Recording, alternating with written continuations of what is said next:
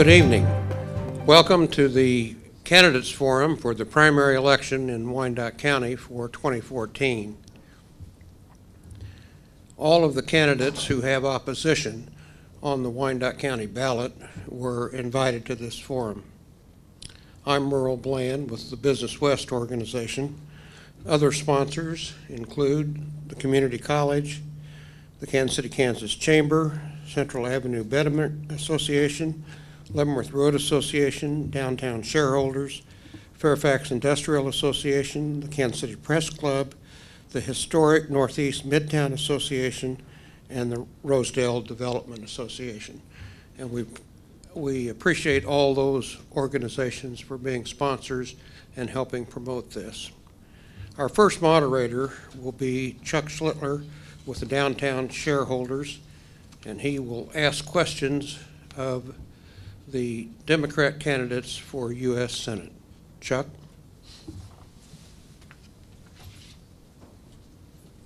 Thank you, Merle. As the candidates make their way to their seats, we welcome Chad Taylor and Patrick Wiesner. And Mr. Wiesner, I understand that you won the coin toss, so you will uh, go first in, in your. Taylor won the toss. Mr. Taylor won, okay. I, we will let you do that then. First, some ground rules. Now that we got that little gaff out of the way, we can relax and, and have a good time this evening, gentlemen. Nobody. Nobody. You'll be presenting opening remarks, three minutes each. Our timekeeper is seated to your left on the front row, and she will indicate when certain uh, segments of time remain. We will then have uh, several questions that I will present to you, and then we'll have closing remarks, and you will have two minutes each for those closing remarks. And Mr. Taylor, you won the coin, uh, the coin toss, I understand, so if you'll begin with your opening remarks. Uh, First of all, good evening, and thank you for the opportunity to, uh, to be here uh, at your forum. Uh, It's a, it's a privilege to get to uh, travel around the state and meet people from all four corners and, and have the opportunity to talk to them and let them know who I am and what I stand for. Um, My name is Chad Taylor. Uh, I'm a farm kid. I grew up on my folks' farm just north of Silver Lake, which is in the northwest corner of Shawnee County. Uh, I did my undergraduate work at the University of Kansas, went to law school in Chicago, came back, was in private practice for several years before uh, there were several people that asked me to consider running for district attorney in Shawnee County, which I did and have been in that role. Uh, I ran unopposed in 2012 and uh, uh, was was able to obviously be reelected, and I'm in my sixth year uh, now as the district attorney. In that time, we've been able to accomplish a lot of great things. We beat back a uh, case backlog of over 4,000 cases. Uh, that number today is about 120. To put that into perspective, our police departments will dump about 200 cases a week on us. Um, so those were four, over 4,000 cases where the crime victims had never had their day in court. The case had never been filed, declined, or sent back to law enforcement for follow-up. In addition to that, we have had uh, a, a cold case unit that I'm very proud of. Um, we've uh, brought uh, over 12 convictions um, for uh, and closure for families whose uh, family members were uh, were murdered, and we're able to finally get them their day in court and and to deliver that justice for them. Having said all of that, the reason that I'm here is, is there's three votes I want to talk with you about. The first vote was Pat Roberts' vote against the Ag Bill. Um, voting against the Ag Bill for a state where 25% of your domestic product comes from ag and ag-related products, not considering the secondary and tertiary markets um, that drive our economy, uh, was was beyond me. While why someone would do that. The second was the vote against funding for vocational rehab and PTSD treatment for our men and women of the armed forces who have, who at, at our request have gone into harm's way uh, to potentially have to make the ultimate sacrifice for our freedoms and our liberties. Uh, the last vote was the vote against the NBAF facility, uh, the biosciences facility in Manhattan, Kansas, as we sit here in, in Kansas City today, uh, in the heart of the biosciences corridor. Um, those three votes sound to me more like a vote of a Virginian than a Kansan. And I think it's very important that we talk about moving forward what we're going to do. And I will tell you, I would have voted yes on all three of those votes because of their importance that they have for our overall economy. Because in traveling around the state, people are hurting. and we need jobs, and we need to start focusing on jobs for Americans and jobs for Kansans. So that will be my opening uh, comments, and I look forward to answering your questions. Thank you, Mr. Taylor. Mr. Wiesner. Yeah, good evening. My name is Pat Wiesner, and I'm also a Democratic candidate for the U.S. Senate. Um, I'm a uh, Kansas attorney, an Army veteran, and a proud Democrat. Um, I grew up in Ellis, Kansas. I'm one of eight children, and uh, went to uh, school in, and graduated from Ellis High School, and went to Colby College for two years. After that, I went to Fort Hays and got a degree in accounting and uh, passed CPA exam, worked as a CPA for several years, and then uh, went to law school at KU. And uh, got out of law school in 1992 and started a tax law practice in Johnson County, and I've been doing that uh, ever since. Uh, I have uh, two children that I've raised. They both are college graduates. Uh, my, one, my son went to Wichita State, got a degree in computer science. He's working for in the aircraft industry. I have a daughter that graduated from Clemson, and she uh, is in the medical products industry in Johnson County. Uh, I'm also a uh, Army reservist. I joined the Army Reserves 20 years ago. I've had three post 9/11 deployments. I'm a contract and fiscal law attorney when deployed uh, for the U.S. Army. I uh, write legal opinions on the Army's request to spend appropriated money on different projects, and that was my function when I was deployed. As a tax attorney, um, I take in clients who usually I get them when it's too late they are hopelessly insolvent and can't pay. So my job is to get them out of the, uh, the uh, problem they're in, either by uh, offering compromise where they settle with the government, or they come in with a payment plan, or they go through a bankruptcy. A anyway, I want to use that uh, tax experience to better our system of collecting revenue for the country as a whole. Uh, we, I would change the, a couple of things on that. I would uh, have us uh, not allow people to get so hopelessly insolvent that they can't take care of their family and can't pay their uh, tax obligations. That serves nobody any good. And I would uh, adequately staff the U.S. Treasury and the Internal Revenue Service so that they could uh, adequately do their revenue collection function. And uh, contrary to what you hear, in public discourse now, the IRS people that I work with are uh, have a culture of integrity. They do a good job. They take their position seriously, and they don't abuse uh, the public like you hear. And I would be glad to answer your questions tonight. And uh, uh again, I'm uh, thank thank you for your time to address you this evening. Thank you, gentlemen. Mr. Wiesner, and this question will be to both of you, and I'll repeat it, uh, Mr. Taylor, if, if you need me to. There's still a lot of confusion about the Affordable Care Act. Uh, Mr. Wiesner, what would you do or what should be done to clarify issues surrounding this law? Uh, the, the, Affordable Care Act is the law of the land now. Where uh, I believe that uh, we can make it work. It costs about $95 billion a year. And if we've got that kind of commitment as a country, we can come up with a plan to make it work where we can be cost effective and get a healthy society out of it. There's about three changes I would make immediately.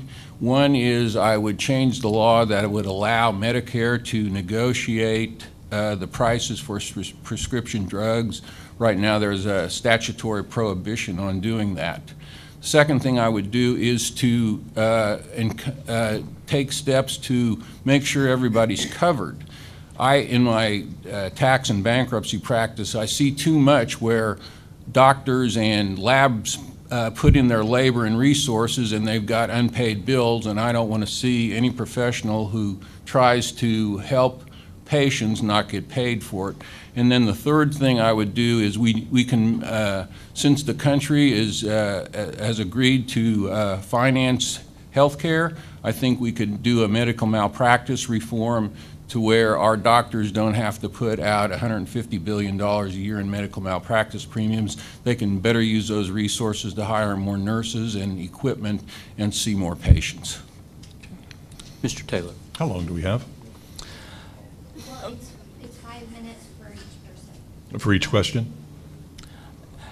Actually, I'll, I'll give you some guidelines as we go, so you, Oh, okay. you you are uh, welcome to answer the question. Okay, I just didn't want to go over time. Not a problem. If you, if you look at the Affordable Care Act, and, and, and I think that part of what we have to do is we have to, we have to educate the American citizen, citizenry on what is contained in it.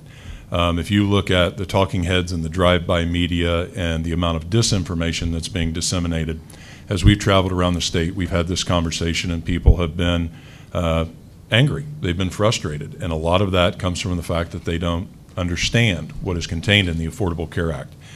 The issues that they really like are the fact that if you have a pre-existing condition um, and you, you can't be denied coverage, um, there are no lifetime caps in the event that you have that, God forbid, uh, uh, medical crisis of bloodborne disease, cancer, heart attack, something of that nature. People also really like the fact that, that they can keep their children on their insurance until they're 26 years old so they can, they can finish their college and get on their way in life without having to go out in the aftermarket and find um, less than, less than respectable insurance for their kids. The last component of it is, is that the Affordable Care Act, uh, as passed, uh, has actually allowed people who are in situations of being underemployed to be able to go out and leave jobs that they were anchored to only because of their health insurance, to be able to go out and actually take those jobs that they were doing on the side, moonlighting, um, to be able to then roll that out and, and create a full-time business out of that. And, and, and the freedom that's been provided statutorily on the marketplace is what has allowed that to happen. And I think that's a lot of the news coverage that we've seen nationally about the uptick in small business growth, which is so important because that's where so much of our job growth in our country comes from. Um, the, the, the confusion, I think, had a lot to do with the way it was passed, the way it was rolled out. And I think that what has to happen now is, and I do agree with my opponent, um, as the Chief Justice of the Supreme Court said, um, and Speaker Boehner said, and 58 recall votes later, it is still the law of the land. And so what I think we have to do is we have to get the right people around the table. Um, hospital administrators, physicians, physician practice group managers, the prescription drug companies, um, as well as uh, AARP and consumer uh, advocacy protection groups to be able to evolve this wide sweeping piece of public policy into uh, the potential that it has in order to keep our health care costs from ultimately bankrupting our country. Thank you. I'm going to ask our timekeeper, Bridget Cohen, if you'll uh, time these two uh, remaining responses at a minute 30 each, please. One second to get it calculated. Certainly. I'm going to ask, in view of, uh, Mr. Taylor, I'll present this to you first. Yes, sir. You'll have a minute and 30 seconds to respond. In view of the Israeli-Palestinian conflict, uh, problems in Afghanistan, uh, the Russia-Ukraine conflict, and we could go on and on, what does the United States need to do to improve our relations with other countries? I think that the first thing that we need to do is we need to be very thoughtful and very diligent on where we choose to send our, our, our men and women into harm's way at. I think that there has to be a clearly defined mission and objective as well as exit strategy when we make the determination of entering into military conflict. Um, in traveling around the state and talking with Kansans after the war in Iraq and the uh, war in Afghanistan, our people are exhausted of war. And I think that what we have to do is we have to find ourselves in a posture to where we mean what we say, and when we say it, we'll do it. And in being inconsistent or wishy-washy on that and allowing um, our international partners to question where we stand and if our loyalty is really just that loyalty um, causes erosion uh, in the in the world's confidence uh, as as the United States is the leader and the superpower. So I think that we have to be make sure that the information that we're basing our information on, first of all, is accurate, and then when that decision is made, um, that it is that it is utilized and carried out as precisely as possible with the exit strategy being clearly defined before we begin. Mr. Wiesner? Yeah, uh, we have uh, situations in Iraq and Afghanistan where we have taken over the country and occupied it and tried to westernize those countries and make democracies out of them. We have good objectives where they're not to be, we, we want those countries to be a, uh, a bastion of democracy in that area of the world and an ally of ours in, a, in the war against terror. What we didn't understand about either of those countries is that they do not normally elect their people uh, or choose their leaders by elections. They're usually done by acclamation or power or something like that, and they really don't believe uh, in their, they don't have a national sense of country like we do. They are more of a tribal area, and, and so for us to believe that we can westernize those countries and make a free market uh, uh, economy out of them was a mistake because they're not going to do that. In Afghanistan, we, they, we've set them up for a 400,000 man security force, and they have no way to pay for it. They have no tax system. They, we are going to pay for their security force until at least 2023 now. They, they have no intention of, of taking it over.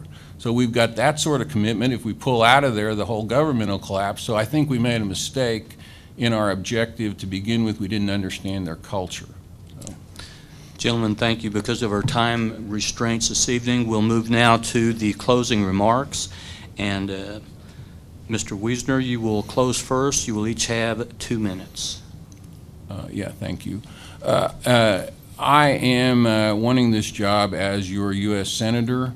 As I said in my campaign uh, throughout this, throughout uh, this last couple of months, I am the get the America out of debt candidate. I think we've got enough economic power and agricultural wealth and energy resources that we can pay for our generous government and have enough left over uh, to uh, pay off our national debt in 25 years. I know that's not a normal position that a Democrat takes, but I think it's attainable if we are disciplined and focused and are willing to work hard for that objective. I have, uh, I believe, unique expertise in the entire country on being a tax attorney and also a government fiscal law attorney. I can bring uh, uh, my experience working with taxpayers, trying to interpret the tax laws, and uh, to get us a simpler tax code and a more efficient collection system so that everybody will pay their fair shares so that we can use those, that money to fund our expenditures. I've got fiscal law and government law experience as an Army attorney. I was on the ground in Afghanistan and in Iraq uh, working on projects, uh, uh, working on uh, having approval of uh, uh, using appropriated money on projects that my commanders wanted to spend on either the Iraqis or the Afghans. I can bring that ground level experience to the Senate and show them how money can be saved and, uh, uh, and actually have a more efficient contracting system to get our uh, mission accomplished. Uh, ask for your vote on August 5th. Uh, I want to, I'd like to be your Democratic nominee for the U.S. Senate. Thank you. Mr. Taylor. Over the last six years of my life and the eight before that when I was an attorney in private practice, I came to the realization of what it is that we do every day. And it is our job to serve as the advocate for someone. So I'm going to ask for your vote, but I'm going to do it in just a little bit different way. I don't want to go to Washington to be your representative. I want to go to Washington to be your advocate, to advocate on your behalf, for your behalf, for your children, and for your grandchildren, because I believe that's important. I believe that America's best days are still in front of it, and I believe that Kansas are as well, but we have to utilize common sense in order to get there. We need to go back to the PAYGO budgeting rules. We don't need to go through extreme austerity. We just need to go back to what works. In 1998, or I'm sorry, in the year 2000, with $628 billion in the bank as a budget surplus, the baton was passed from one president to another. The PAYGO rules went out the window. And for those of you who don't know what they are, it's real simple. If you want to increase a dollar of spending over here, you have to publicly tell where that money's coming from. Are you either going to take it from this line item or this line item, or are you going to incur debt or raise taxes to do it? It's the best form of transparency that we can have. In addition to that, it will stop that printing press in the back row that so many people are concerned about is going to be the ruination of our country. I will tell you that focusing on Kansans and focusing on Americans first to get this economy off of dead center and get folks back to work so the next time I travel around the state, I'm not having conversations with people where they're telling me that they're gravely concerned and having conversations with their children and their grandchildren about leaving the state of Kansas in order to pursue economic opportunities because they're no longer here. That's not the Kansas I grew up in, and I believe that that's a real tragedy. I'd like to ask for your vote on August the 5th, and I would like to say one other thing, and that is that we've seen how ugly some of the primaries around the state have gotten, and I'd like to thank my opponent for running a clean and classy race. We've been all over the state together, and uh, I think that we've proven that it's okay to disagree without being disagreeable. So thank you very much. Gentlemen, thank you very much for being with us.